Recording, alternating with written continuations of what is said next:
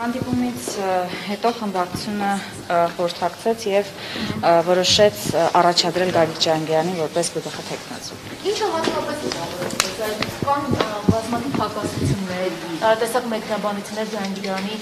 ներկայի, հա, անցյալի նրա դիրքորոշումների, հիմնադախված լինելու ընթացքում նրա կատարած հա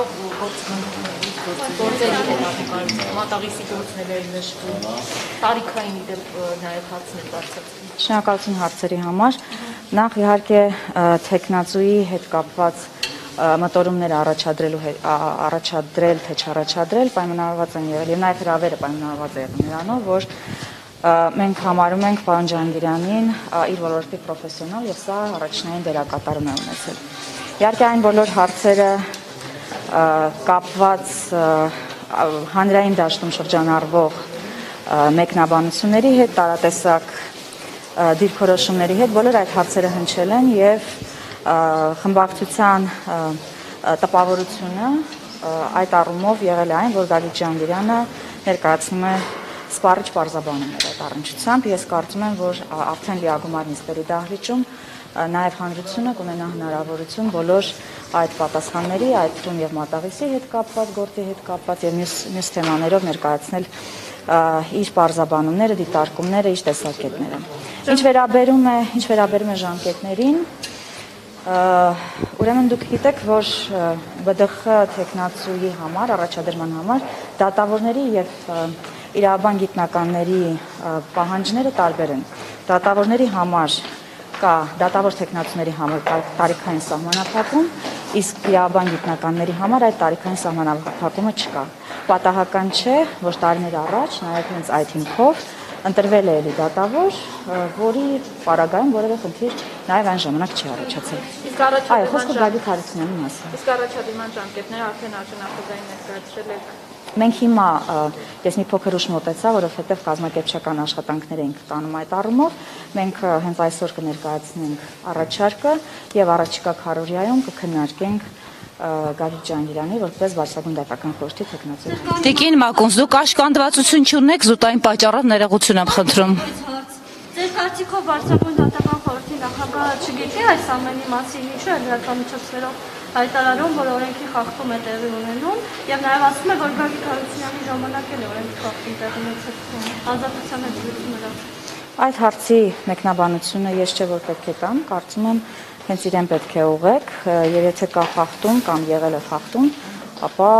նաև այդ բարձաբանումը դարձյալ պետք է տային անձը, ում ուղղված է խոսքը լսում ձեզ։ Տիկին Մակոնց դուք աշկանդվածություն չունեք զուտային հանգամանքով պայմանավորված, որ դուք մշտապես նախկիների դեմ,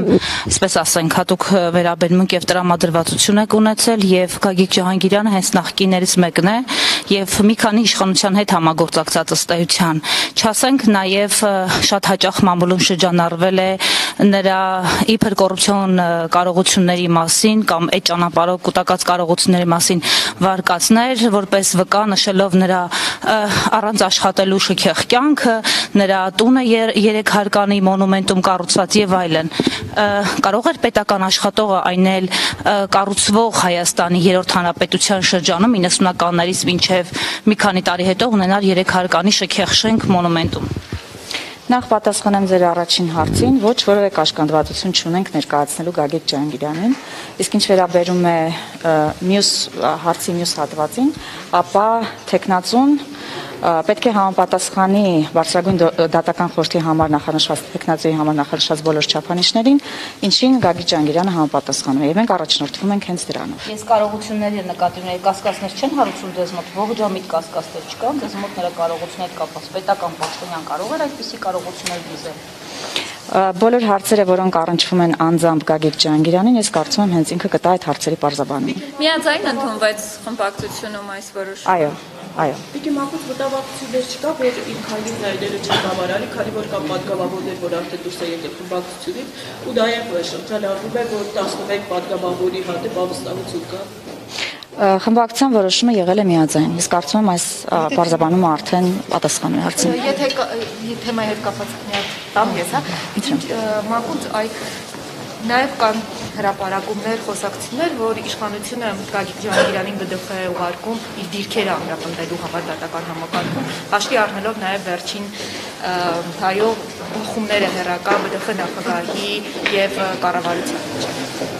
Դուք գիտեք, որ բարձրագույն դատական խորհրդում արդեն տևական ժամանակ կար մեկ թափուր տեղ եւ հետո ավելացավ արդեն երկրորդը։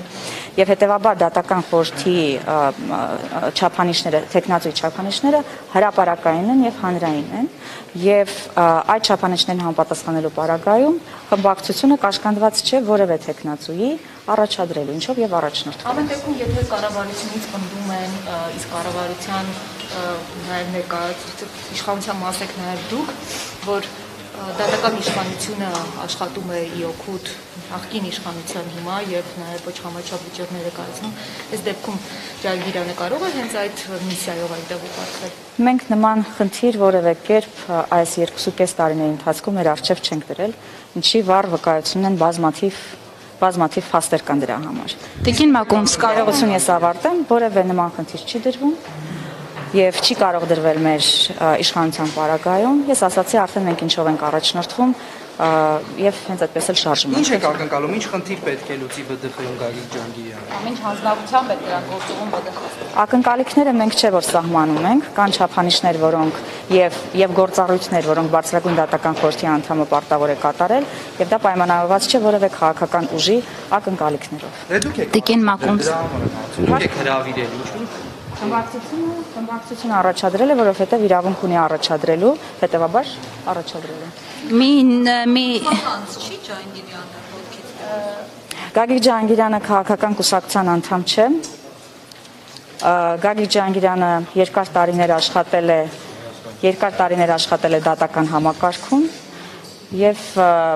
նորից պետք է ասեմ, որևէ խանգարող եւ կաշկանդող հանգամանք չկա։ Այսինքն նախկինների մեջ էլ ունեք յուրայիններ եւ ոչ յուրայիններ։ Օրինակ գլխավոր դատախազը նախկին չէ,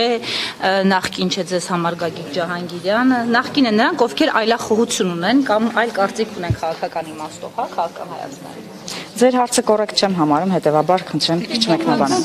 ԲԴԽ-ում մյուս ազատ թափուր տեղի համար կա արդեն տեխնացուի քայլում։ Ա, Մենք քննարկում ենք տարբեր տեխնացուներ, առաջիկայում կհանդիպենք նրանց հետ, խմբակցությունը երբ կկայացնի որոշում, անպայման իհարկե կտեղեկացնենք։ Չեմ բացառում, որ մյուս քարորիային ա, եւս երկրորդ տեխնացուին առաջադրենք։ Կարծում եք վնգստացող դատավորներ դեռ կան։ Ես ձեր ձևակերպումները կոռեկտ չեմ Բայց համարում։ Փաշինյանը կոռեկտ չեք համարում։ Ես ձեր ձևակերպումները կոռեկտ չեմ համարում։ Վարչապետը վարչապետը դա հնչեցրել է բոլորովին այլ համատեքստում։ Եթե վարչապետն է ասում կոռեկտ է, եթե լրագրողն է ասում կոռեկտ չի։ Եթե ունեք ինձ, եթե ունեք ինձ քաղաքական հարցեր, Այդ շատ